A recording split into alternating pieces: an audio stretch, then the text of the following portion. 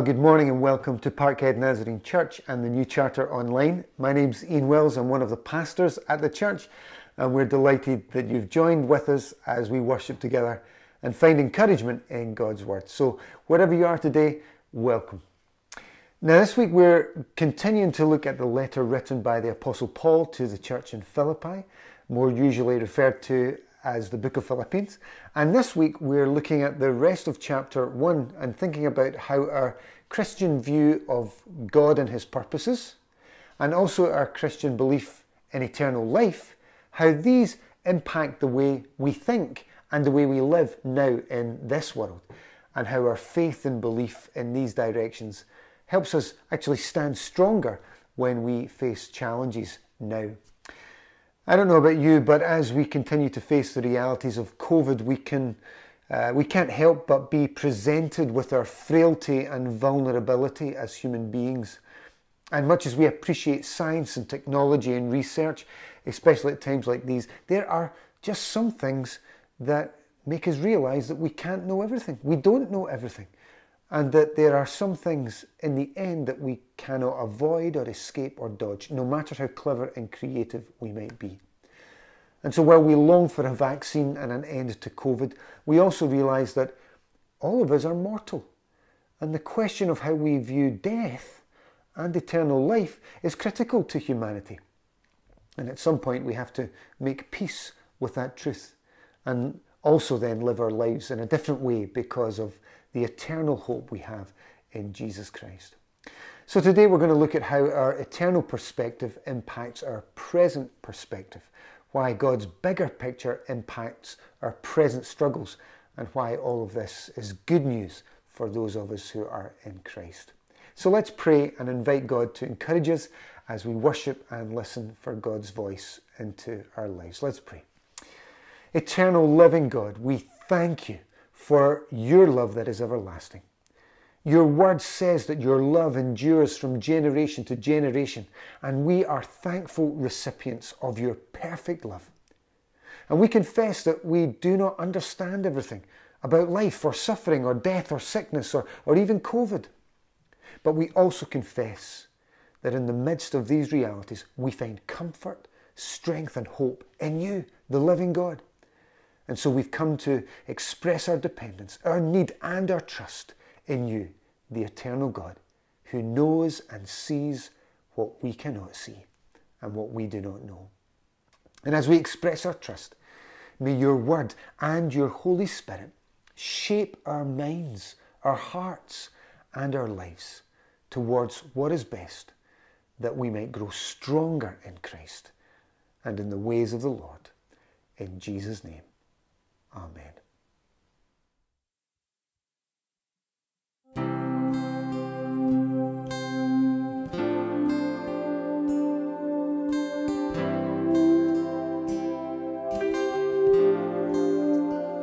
What gift of grace is Jesus my Redeemer? There is no more for heaven now to give. He is my joy, my righteousness and freedom, my steadfast love, my deep and boundless peace. To this I hold, my hope is Jesus. For my life is ever bound to His. Oh, how strange and divine! I can sing all is mine, yet not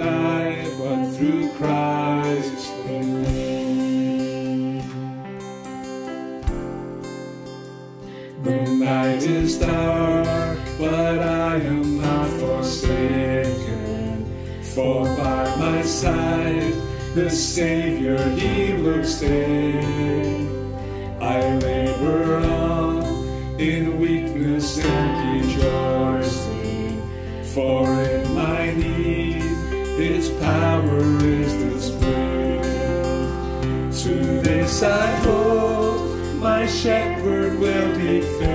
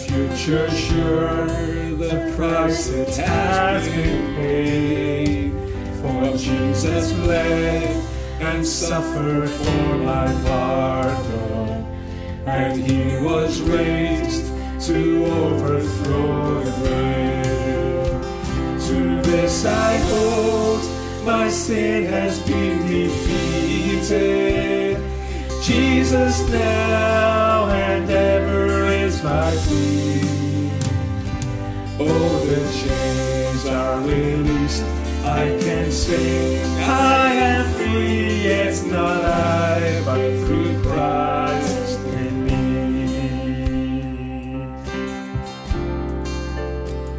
With every breath, I long to follow Jesus, for He has said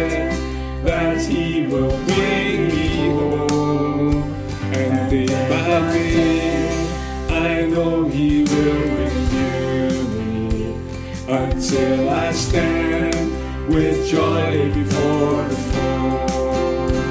To this I hold, my hope is only Jesus. All the glory evermore to Him. When the race is complete, still my lips shall repeat,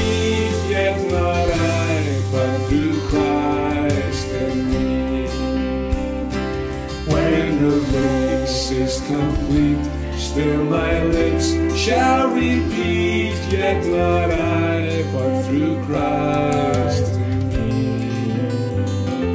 Yet not I,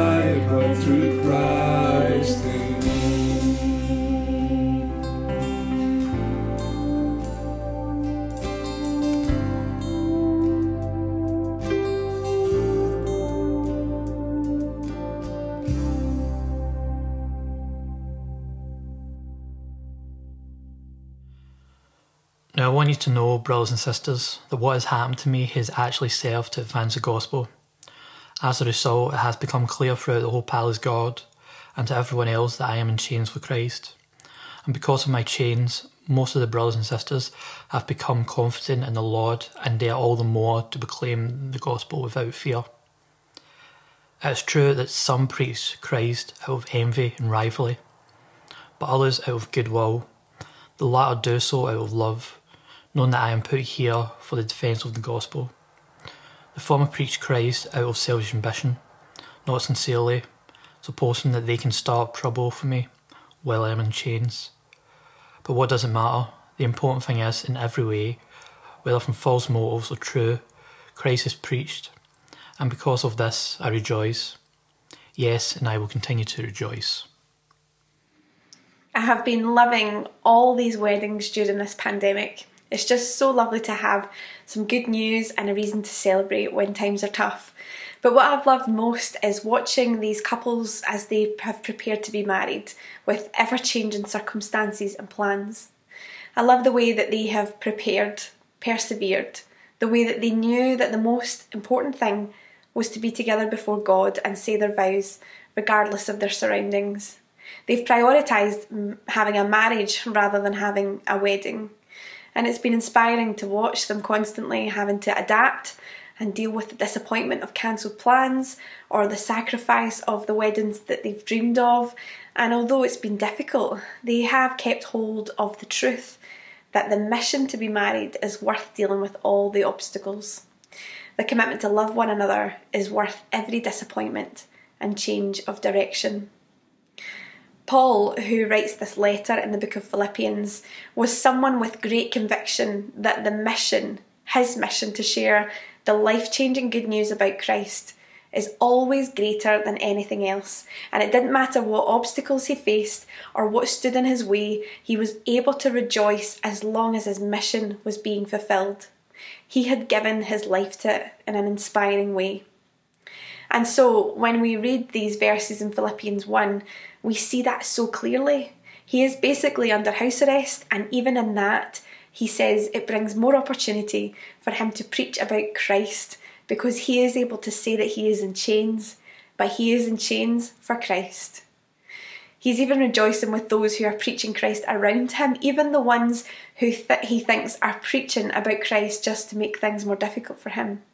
And he says he just doesn't care as long as it's all about Christ. He says in verses 17 to 18 there are others who do not have pure motives as they preach about Christ. They preach with selfish ambition, not sincerely, intending to make my chains more painful for me. But that doesn't matter.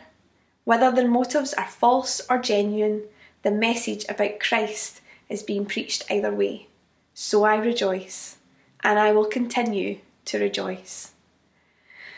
This is actually just so incredible. Rather than this being an opportunity for Paul to have a moan and hold a resentment or carry offence, he is happy to endure it if it means that Christ is still being talked about. I was laughing as I was preparing this because I couldn't help but imagine Paul in our 2020 pandemic situation. He is under house arrest, socially isolated and limited.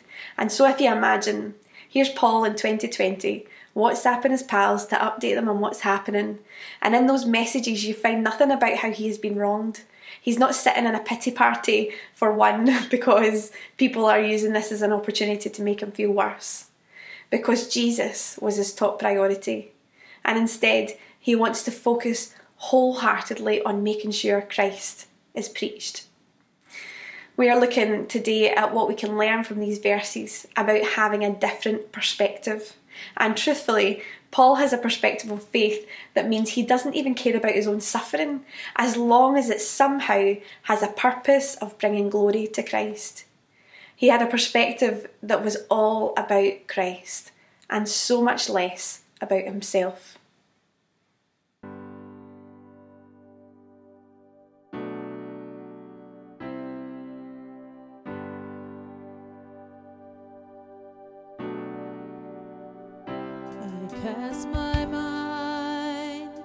To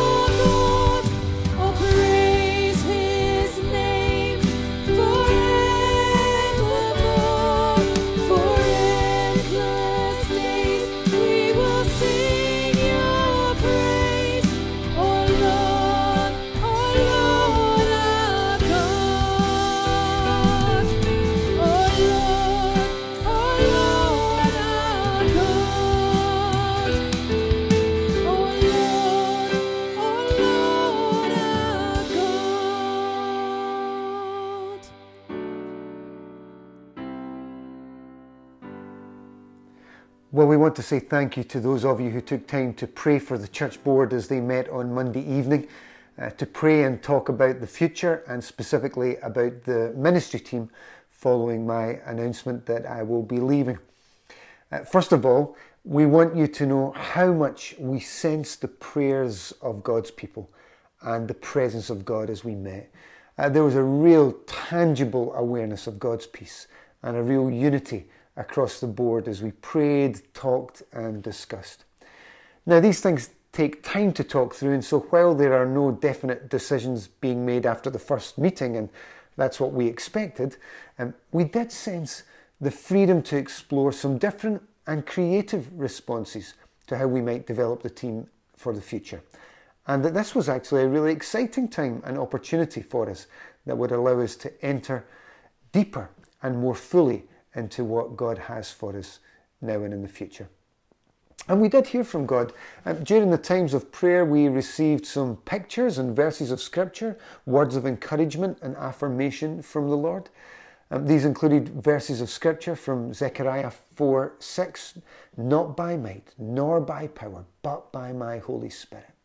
Or Psalm 40, I waited patiently for the Lord. He turned and heard my cry put our feet on a solid rock, a firm place to stand, a new song in our mouths, and many will put their trust in God. And John 14, when Jesus said, Don't let your hearts be troubled.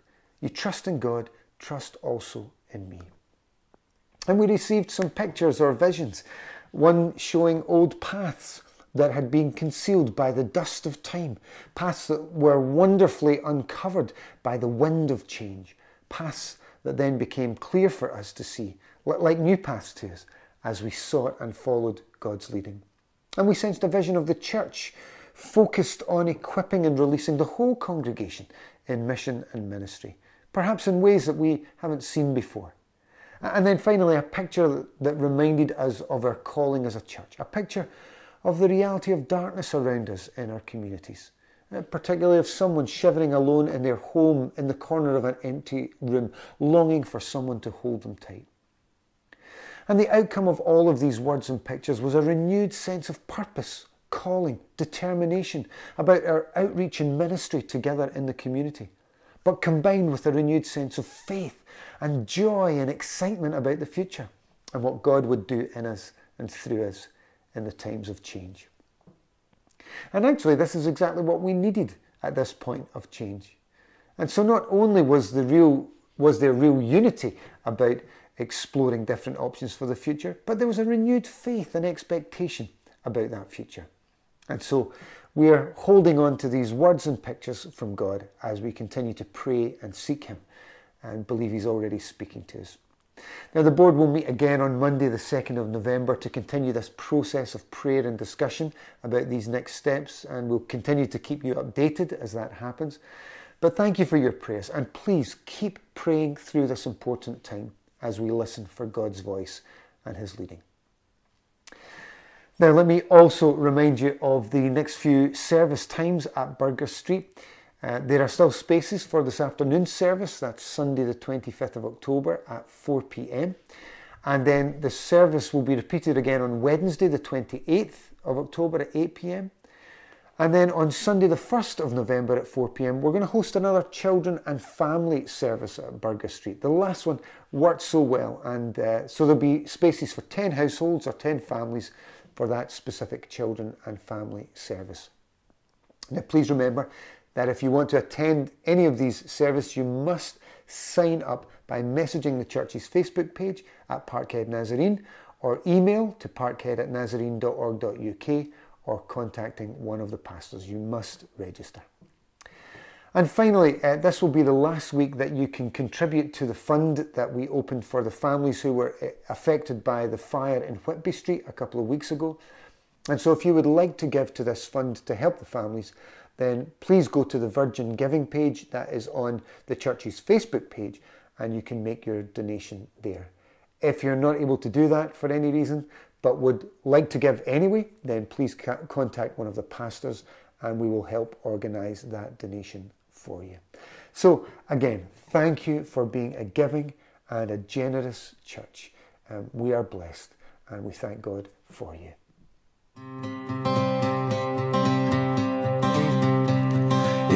My wrestling and in my doubts, in my failures, you won't walk out. Your great love will lead me through. You are the peace in my troubled sea. Whoa, you are the peace in my troubled sea. In the silence, you won't let go. In the questions, your truth will hold. Your great love will lead me through. You are the peace in my troubled sea. Whoa, you are the peace in my troubled sea.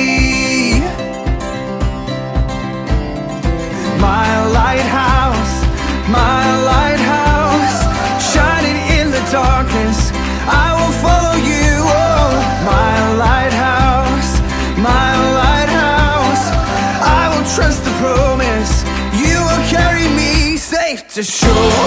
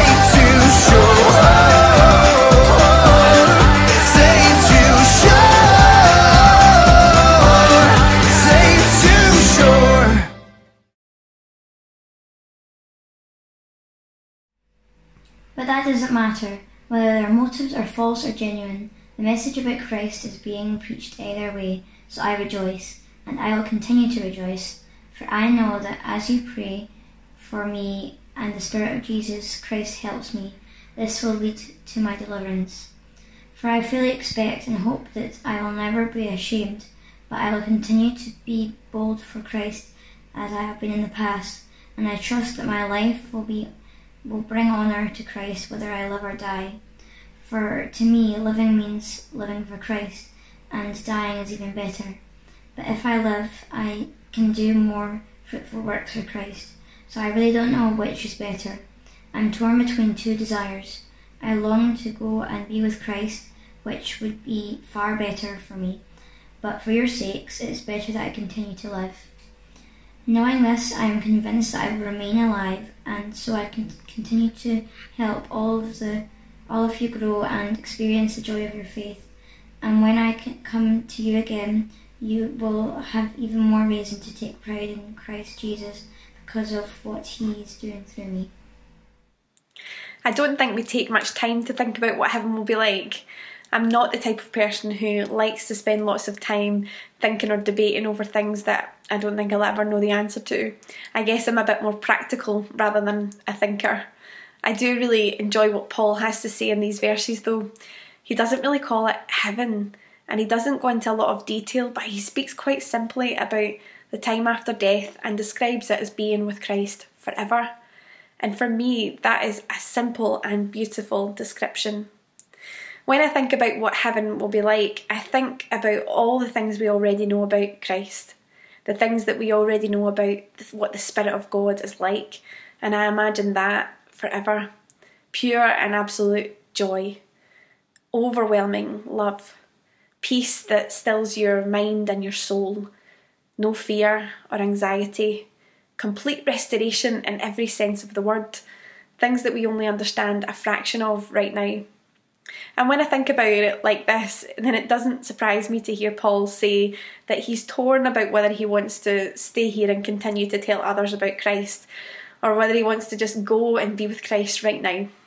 His anticipation of death is not some morbid desire to leave this world, but it's a recognition that it will mean that he will be with Christ, and that is his desire to experience that in all its fullness. I said before that I don't spend too much time thinking about or debating about the details of things like heaven, but I certainly thought more about it when my mum and dad died. When my mum died, I had such a peace that she was at peace. I felt like, although I didn't know for sure what heaven was like, I knew for definite that she was a woman of faith and she was with God. I thought about it even more when my dad was diagnosed with terminal cancer so often we go about our days living our lives and we don't really think about what's to come much.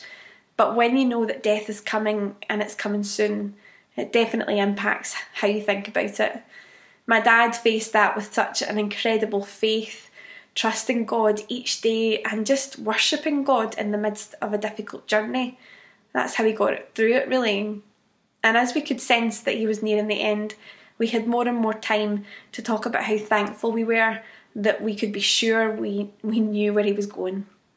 And in the end, I could see my dad's sadness to be leaving me, to be missing us, but his assurance and his peace that his fight would be coming to an end and that he would be able to rest in the arms of the Almighty. Two different experiences of death, but both equally filled with peace and both so important because in a culture that can find it difficult to talk about death, they gave me an opportunity to face it as a person of faith and to think about the reality of the things that God promises us. We talk a lot about how God longs to make our, a difference to our lives right now.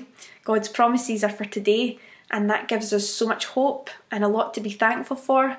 But there is so much that will only be dealt with in His promise of eternity there may be hope for today, but I don't think we give enough focus to the hope that one day we will know complete peace when we are with God, and all of the pain and suffering in this life will fall away, and complete healing and wholeness will come upon us because we will be in the presence of God, the God who we know and trust. And that is something to be so thankful for. In verse 21, Paul says those famous words to live is Christ to die is gain. If that doesn't make much sense to you, then listen to this from the NL New Living Translation. He says, For to me, living means living for Christ, and dying is even better. We've talked about the fact that Paul had such an understanding of heaven that meant he could look forward to it, but it even had such an impact on how he lived his life on this earth because he believed you're not really living if you're not living your life for Christ. He wasn't concerned about things like, you know, finishing his Netflix series or buying a new car or earning more money or going to the pub with his pals, although they never really had any of those things. But actually, if it didn't change lives for eternity, then he wasn't interested. And this perspective changes everything about the way Paul lives. I mentioned before about how he viewed suffering, but it's even more than that. It's the fact that whatever happens, whether he lives or dies, it's a win win situation because with Christ, it is all good.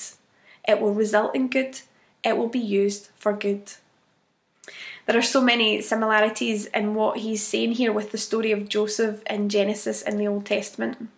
This was exactly his perspective, and it's honestly one of my most favourite Bible stories because I love reading through his journey that is just so up and down and backwards and forwards. Sometimes I feel like my own life has been a bit like that, just one thing after another. But I love when I read about Joseph and he just honoured God in every single season in whatever small way he could. And at every point, we read that God was with Joseph and God's favour and blessing was on him. If you don't know the story of Joseph, he is sold into slavery by his brothers because his brothers are jealous of him. And while he's a slave, he just tried to be the best slave that he could be. And because of that, he became so trusted with everything that the master owned. He became the top slave. And then he was severely tempted, and although he resisted temptation, he was falsely accused and he ended up in jail. And I think definitely at that point I'd be a bit angry at God that I had been faithful and still ended up in prison. But that's not Joseph. Even though he was in prison, like Paul, his mission was still the most important thing. And so Joseph still honoured God by helping others, by pointing them to God, even though he was in so much need himself.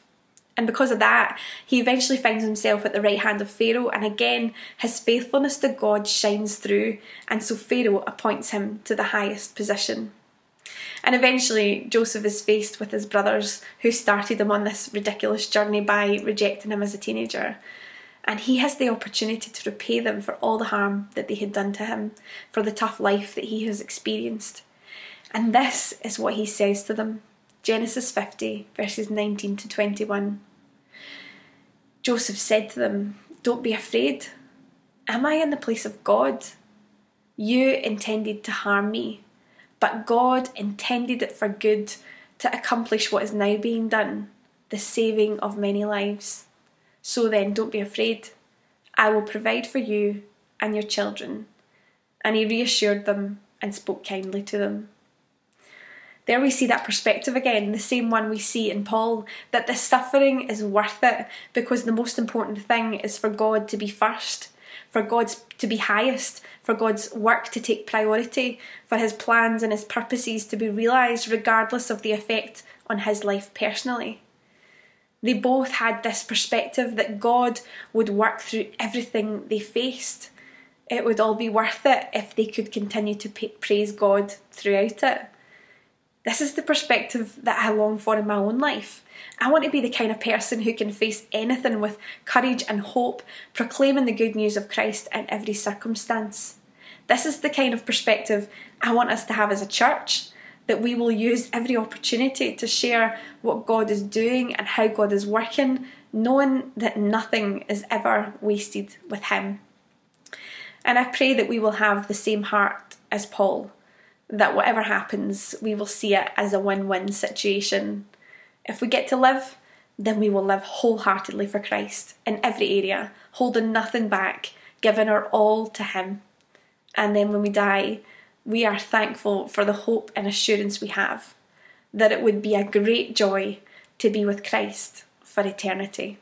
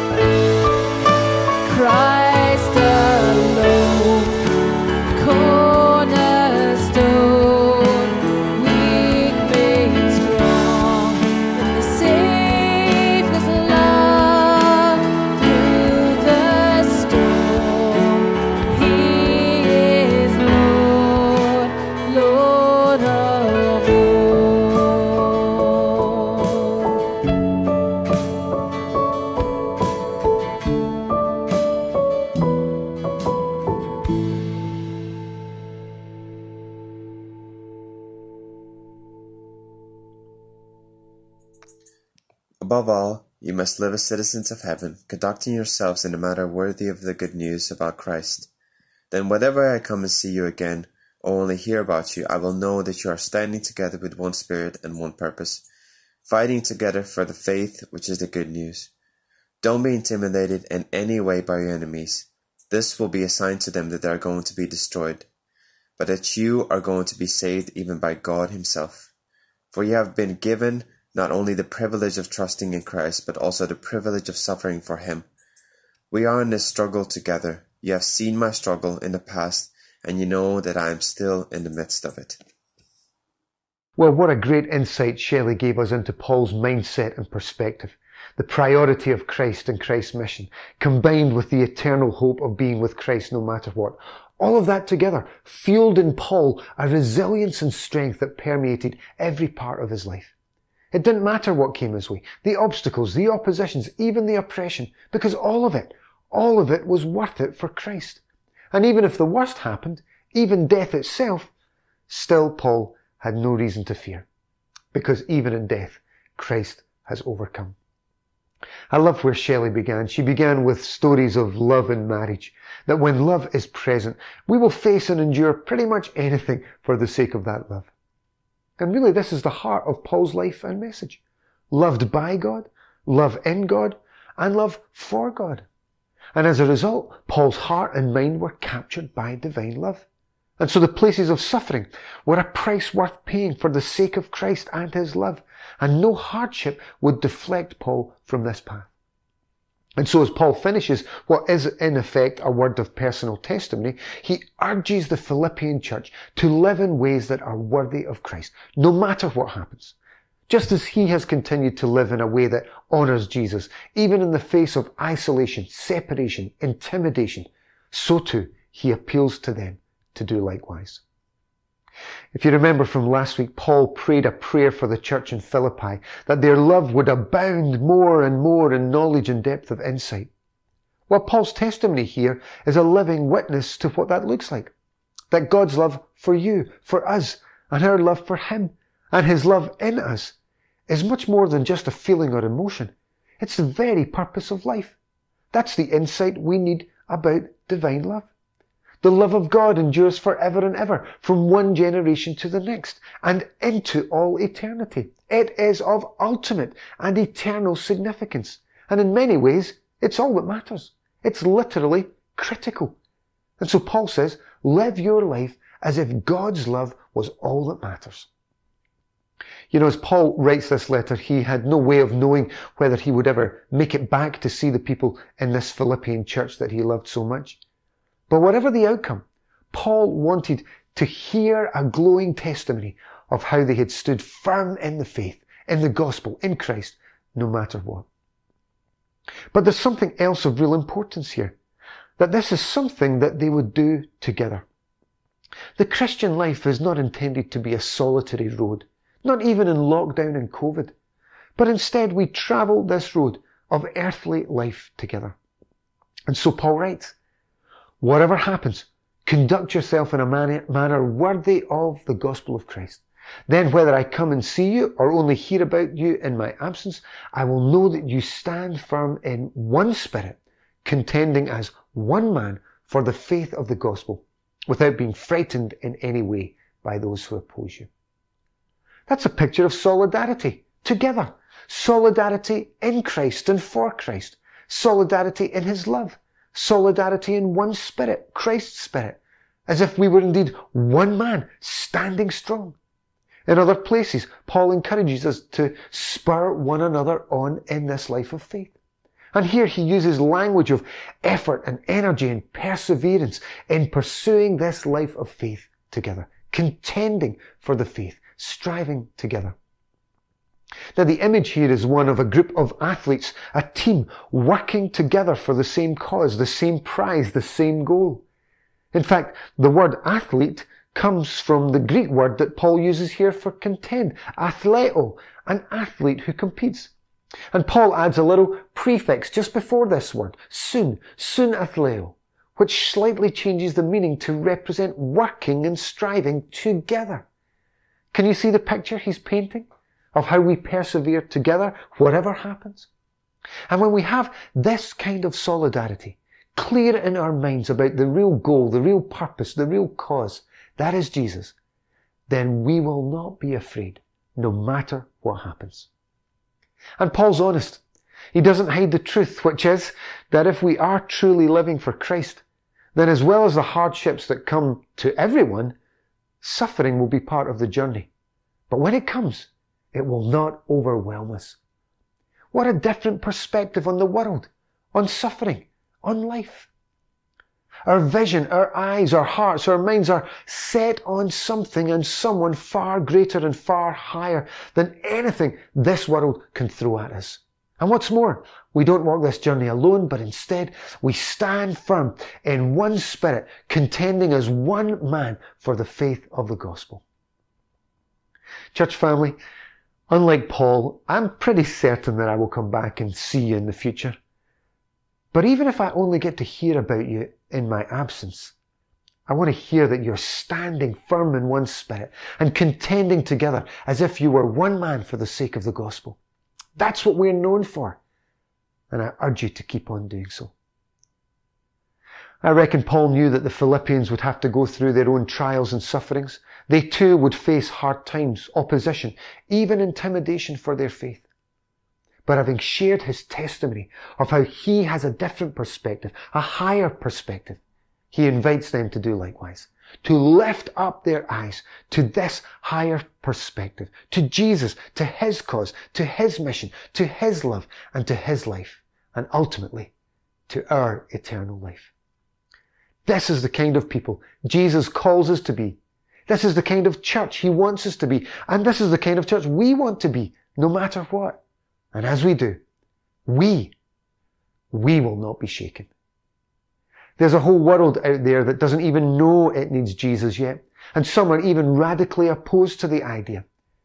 But those who grasp the perspective of Paul find courage to speak the word of God more courageously and fearlessly.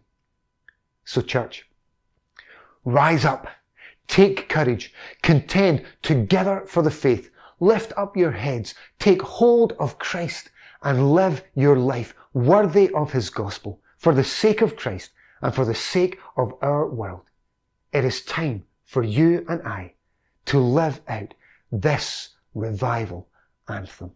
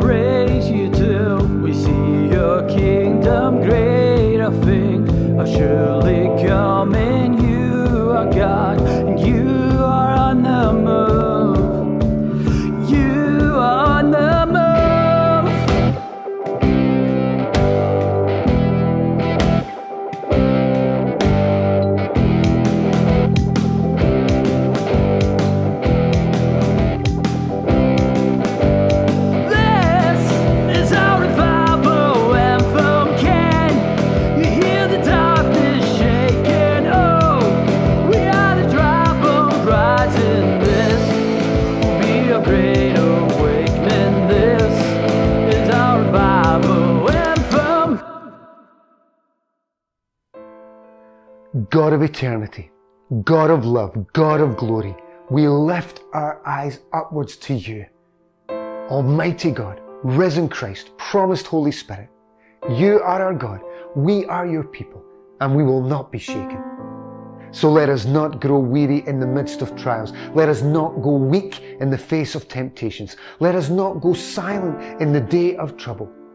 Instead, God, revive us with the Spirit of Christ, the passion of Christ, the courage of Christ, so that our lives declare to live is Christ. In His name and for His cause we pray. Amen